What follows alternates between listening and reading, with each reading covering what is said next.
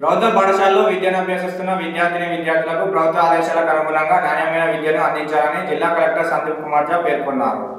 బుధవారం జిల్లా కలెక్టర్ తంగల్పల్లి మండల కేంద్రంలోని మండల పరిషత్ ప్రాథమిక పాఠశాల జిల్లా పరిషత్ ఉన్నత పాఠశాలను ఆకస్మికంగా తనిఖీ చేశారు.